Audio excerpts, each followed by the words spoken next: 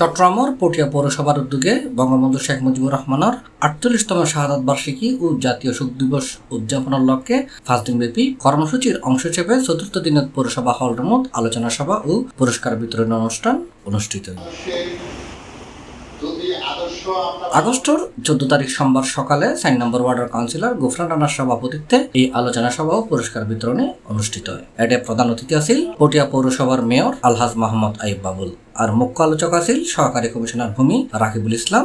বিশেষ অতিথি আছিল panel mayor engineer Rupak Kumar Sen panel mayor মহিলা বুলবুল আক্তার কাউন্সিলর মোহাম্মদ জসিমুদ্দিন মহিলা কাউন্সিল ফেরদৌস বেগম সহ পৌরসভার কর্মকর্তা কর্মচারী শেখ কামালকে গুলি করলেন শেখ জামালকে গুলি করলেন।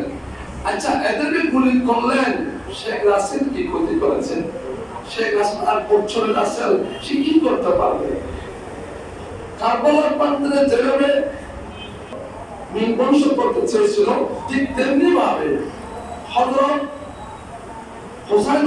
বংশধরের বঙ্গবন্ধুর পরিবারকে নির্বংশ করার জন্য শেখ রাসেল তো তারা গুলি গুলিগুলি হত্যা করেছে সে বলেছে আমরা তো তোমরা মারো না। অনুষ্ঠান শেষে বিজয়ী লড়াতত অতিথি হলে পুরস্কার তুলি দেয়।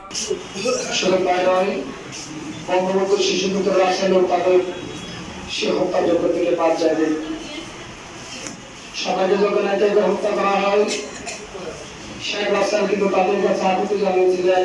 আমরা যার হাত ধরে এই মানচিত্র পেয়েছি যার হাত ধরে আমরা এই স্বাধীন বাতাসে নিঃশ্বাস নিতে পেরেছি। তিনি হচ্ছেন বঙ্গ জাতির পিতা বঙ্গবন্ধু শেখ মুজিবুর রহমান, যার জীবনের শুধুমাত্র একটাই স্বপ্ন ছিল, এই দেশকে স্বাধীন করা। C plus Chittagong